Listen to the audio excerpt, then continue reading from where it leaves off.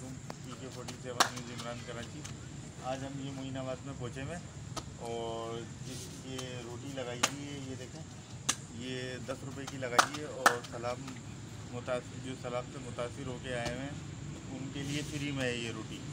सही है? और ये देखिए ये सब रोटी लगा रहे हैं। भाईजान ये कितने की चला रहे हैं आप रोटी? हम दस की चला रहे हैं लेकिन सलाब वालों के लिए फ्री है। सलाब वालों के लिए फ्री है? फ्री है। माशाल्लाह तो ये कौन सा एरिया लगता है ये?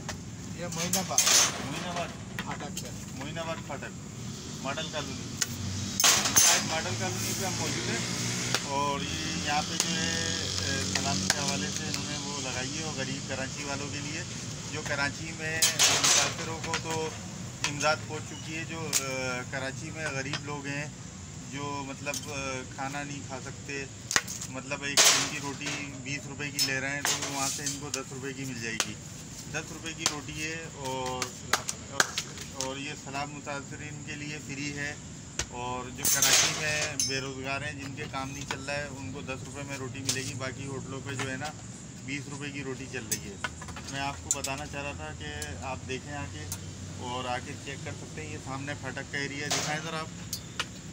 ये सामने फाटक का एरिया, मोइनाबाद फाटक का, इससे सीधे अंदर आएँगे ना, पटरी के साथ। तो सामने ये रोटी का तंदूर और बड़ी अच्छी बात है नेकी का काम है, जिसने भी स्टार्ट किया है। T K forty seven news Imran Karachi सबकी आवाज़।